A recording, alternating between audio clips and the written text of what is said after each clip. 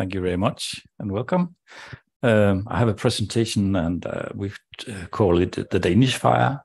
Um, but more importantly, um, how do we get away from all our legacy standards in Denmark? And we uh, made this sentence that says we, we're going to fire all the legacy. Uh, I work in a organization called MedCom, which is a publicly owned standard organization in Denmark.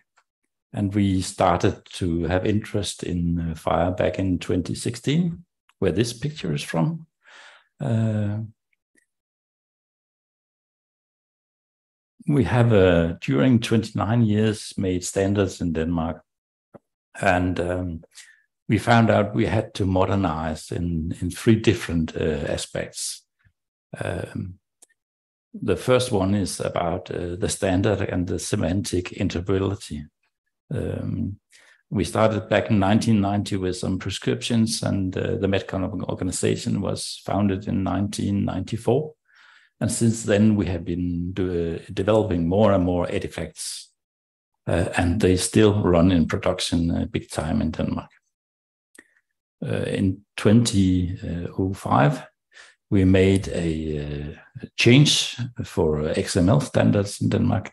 They are locally defined in Denmark is cannot be used anywhere else. That was a very bad strategy.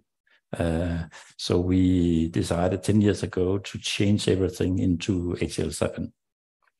And in 2014, uh, we started with document sharing, with uh, XDS sharing in Denmark, and that was uh, with the use of CDA standards. But we decided to modernize everything and leave everything uh, written in uh, native Danish language. Uh, so now everything is uh, written in English because everybody in Denmark understands English, and all the vendors uh, uh, told us don't write anything in Danish because we develop in India or worldwide. Um, so our messaging, uh, we changed from Edifact and Danish XML into uh, FHIR messaging. Uh, we have some web services we use for XML standards. We changed that into some uh, FHIR services, and we have uh, document sharing. And until last week, the health authorities uh, required it to be CDA, but luckily, they changed their uh, strategy and allow us to uh, profile in FHIR documents as well. Yeah, it has. Been, it, we used three or four years to persuade them to to accept FHIR uh, documents. But that that was the one thing we tried to modernize in Denmark. And the other uh, track is about infrastructure. Uh, we have a very old uh, network, uh, a commercial network with different private operators who exchange the, the messaging in in Denmark. Uh, and along that, we have a nationally owned uh, infrastructure for the uh, the service-based infrastructure, and the MedCom in Denmark is responsible for that national backbone network for services. Uh, and we run the document sharing upon this uh, local backbone network. Uh, and the last thing we have in our infrastructure is terminology. We just heard Graham talk about we have a need for a terminology server, and I agree totally with him. We have some web pages where people can download spreadsheets and uh, manually update their systems with new terminology versions. so we also modernize our infrastructure uh, with a new one. We call it uh, EHMI. Uh, that is built upon European standardization for infrastructure with the e-delivery project, which is used within the health domain, but also in other domains. We decided to call it e-delivery plus because we build upon it and we add some extra functionality for instance, track and trace where is my message when I expect it to get to the hospital and it doesn't arrive. Where is it stuck? How do I uh, fix this? and then um, we take all the classifications where we can uh, structure them in FHIR and publish them on a FHIR terminology server. We have a third thing we modernize, and uh, that's not the technical part, but it's also an important uh, issue for us. And that is how we uh, work. How do we develop standards? How do we test and certify all the vendors for following and complying to the standards? So we have a very well documented uh, uh, quality management uh, book uh, explaining these things. And uh, Wednesday we had it audited. We get an audit of it every year. Um, we have been uh, using these uh, ISO 9001 processes since 2015 for testing and uh, certification processes. Uh, and three years ago, we expanded it with, we describe how do we develop a standard? How do we uh, involve clinicians and uh, vendors? Um, about test is special when we talk about FHIR. Um, we have been testing for many years in Denmark. We uh, tend to to uh, find the scope for what do we test when we test semantic interoperability. Uh, and in the bottom of uh, of this graph, you can you can see the technical parts and the infrastructure that's very easy to test, and we can use some test tools for that. And for FHIR, we use Touchstone. Um, we also have to test the semantics. Uh, what do we integrate? What data do we share? And uh, you can also test some of this in the, the automatic test tools like Touchstone. Uh, but we also make a uh, meeting with the vendors. We want to see the solutions with our own eyes to ensure they uh, update to the newest versions of uh, classifications, for instance.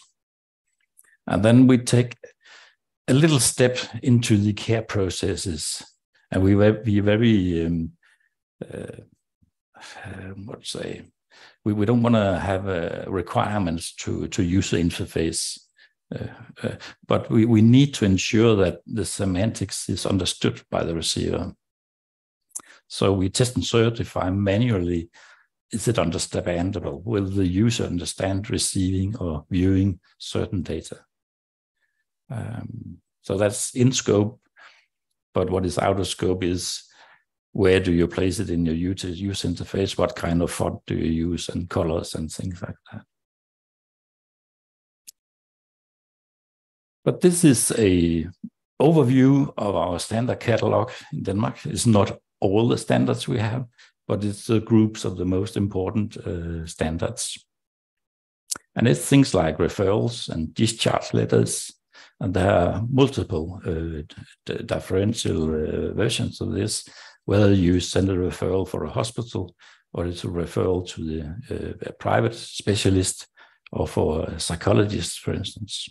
So right now we have uh, individually uh, implementation guides for each type of referral, and we expect to uh, um, make fewer versions so one referral type can be for different uh, use.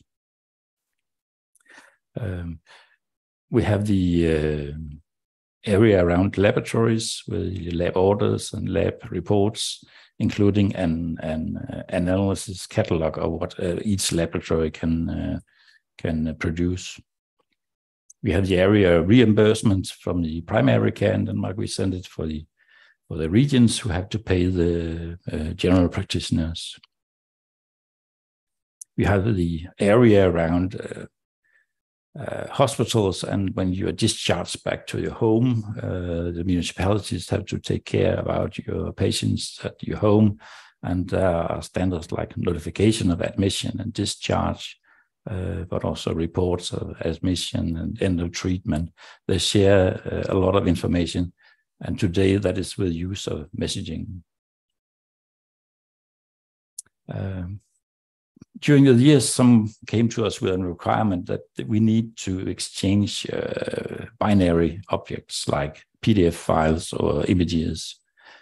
Uh, so we have a, a, special standard for just transporting a, a PDF or a picture. Uh, I haven't seen that in other countries uh, made the same way as we did in Denmark, so probably we should reconsider that approach. Um, there's another standard that's also typical Danish uh, invention, I think. It's called uh, care communication. It's a sort of clinical email. Uh, we could use the mail system in a secure way, but uh, using a, a, message type and uh, that gives the benefit of receiving the data. It's included in your own uh, record system for documentation. And the last area is about uh, sharing whole uh, health records between hospitals and between uh, general practitioners or between uh, the municipalities where citizens uh, live. So all of this is developed in messaging and a few of these also exist as service service based uh, uh, chains of data. This is how it looks today. Now I will show you a slightly other plan or other slide here, where um, I hope you can see the colors. I know some can be colorblind. Uh, excuse for that. Uh, but a, my try to illustrate where do we see um, the approach ahead. Where should we continue to use messaging? Where should we use uh, RESTful APIs instead? Um, where should we do, uh, use both?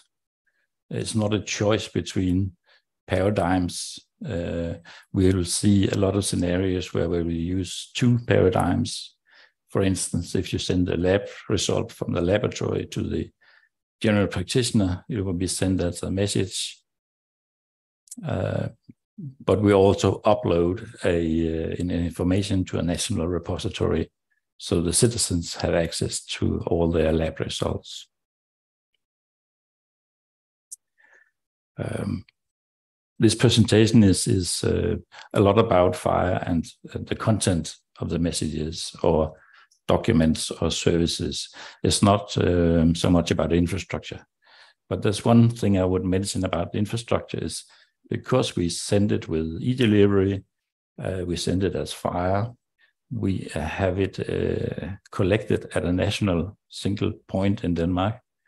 Um, and that FHIR uh, representation of all the messages exchanged, we uh, connected to the uh, XDS registry so that uh, everybody who have a need for seeing the data can see the full flow of messages.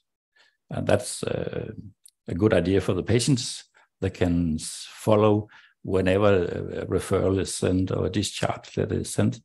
The citizens have access to all data at the same time as it is, uh, is uh, made.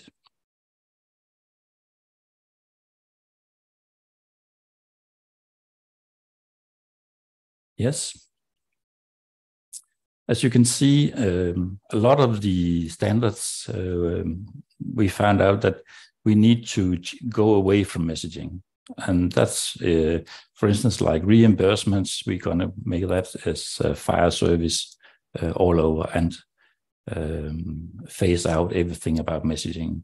And we also expect in the area where we share uh, documents or full records between systems it's going to be a, a, full migration into um, service-based exchange of data. Um, the blue color is uh, referral types or laboratory orders where we think we're going to end up with having two paradigms um, transporting the same data or sharing the same data.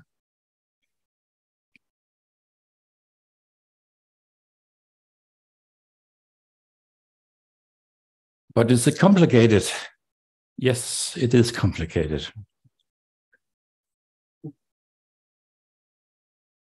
One thing we decided um, up front was that um, we modernize our standards and we modernize our infrastructure.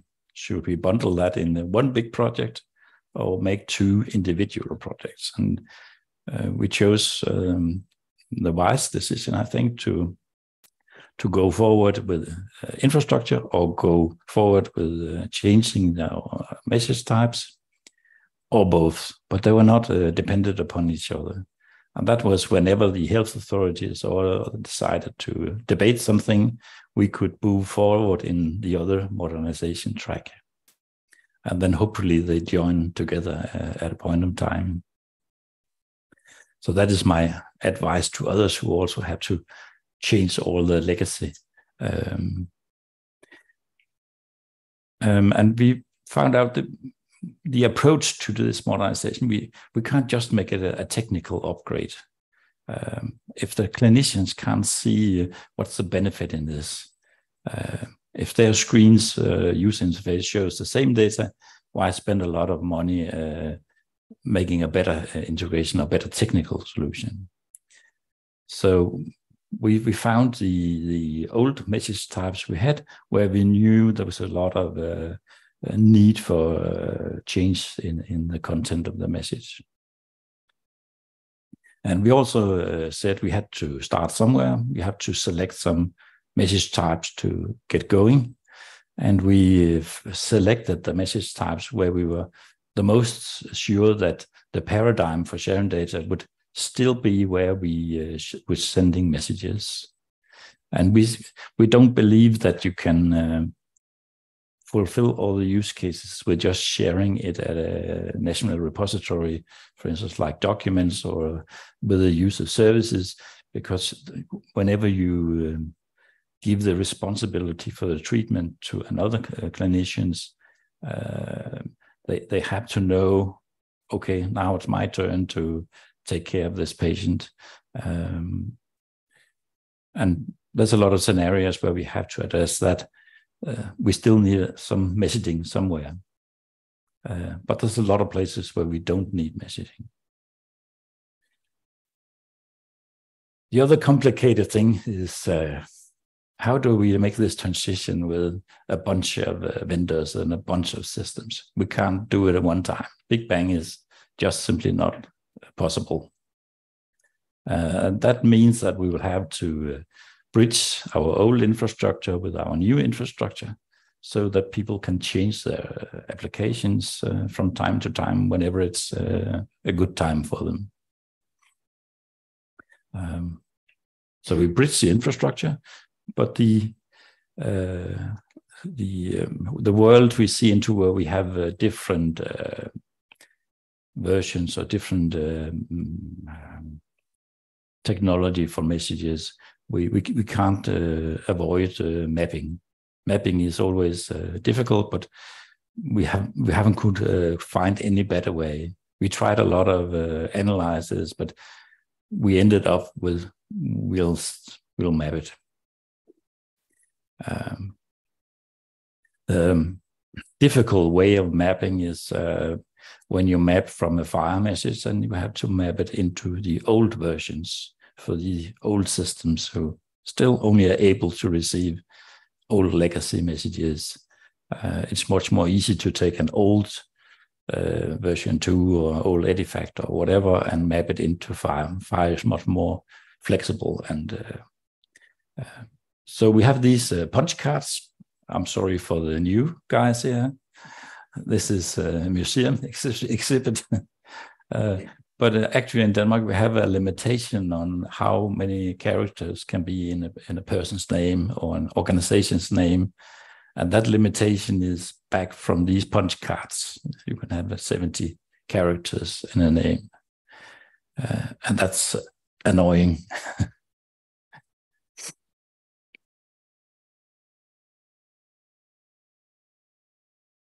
the most uh, interesting uh, part in this modernization is actually uh, you have to consider, reconsider your data paradigm, how to um, to um, uh, share your data, and it has a very huge impact on uh, systems whenever you change the paradigm. So it can be very expensive to uh, to to change systems. Um, we have an example of a, of a national FHIR repository or a, a referral repository, and uh, there's so many systems to integrate to it. So it's very uh, costly to um, to change infrastructure. And my last chart, my last slide is uh, is called sustainable modernization. Be careful not to uh, implement too many nice to have things because there's a big uh, price tag. Uh, we asked the vendors, why is this so costly? Everybody said FHIR is geniusly. Go ahead, make it as fast as possible. Um, and then the pricing was much higher than we expected. And they explained to us uh, in some com companies, it's uh, the FHIR knowledge, it's a one time investment. Um, there's the use of FHIR messaging that is new to many people. There's a lot of uh, knowledge about API services and how to use FHIR that way, but there's not that many who have uh, implement FHIR messaging. But the most expensive uh, part in, in this uh, migration is actually adding new functionality. Meanwhile, while you are you, why you modernize the, the technology, it's very easy to say, can't you put this in the standard and this and that? Uh, and that is uh, rather costly, it seems to be. So think uh, sustainable make new standards, but don't add too much new fancy stuff because uh, the society doesn't have the money for everything. Yes. Nice. That was my presentation. So thank you very much. So we are a bit behind schedule, but I think we can do one final of one quick question if someone has one. Yeah. Thank you very much. Um, what I'm wondering is, did you keep the underlying XDS structure or framework, let's say, or did you replace that uh, as well? No, we still have the XDS XDS structure uh, infrastructure, okay. and we keep will keep that for at least for some years. Um, it's the health authorities in Denmark who, who uh, require the, uh, that sort of approach. Good, thank you. Uh, personally, I, I would uh, rather change it for a service based. Uh, uh, okay, nice. That was a quick question indeed. So thanks again. Thanks, Michael, for the presentation. And